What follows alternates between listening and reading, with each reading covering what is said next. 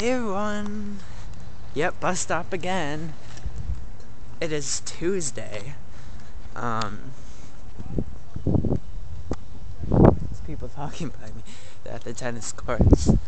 Um, anyways, um, yesterday I went, I had my first day of practice from swimming. It wasn't fun.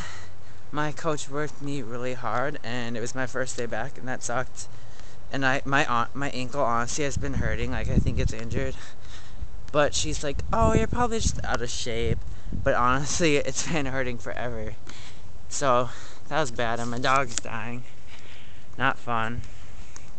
And um, J.K. messaged me, and he said that I should be more patient.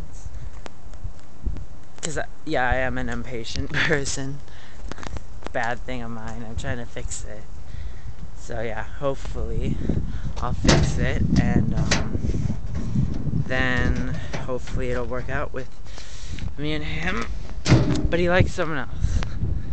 But if he ends up liking me, then I'll be happy and that'll be good. And my ex won't stop bugging me about getting back with me. It's kind of, kind of annoying, but I guess I'm annoying to JK sometimes, so anyways, hopefully he'll decide that I could be good with him because I'm gonna be more patient. I'm gonna work on that.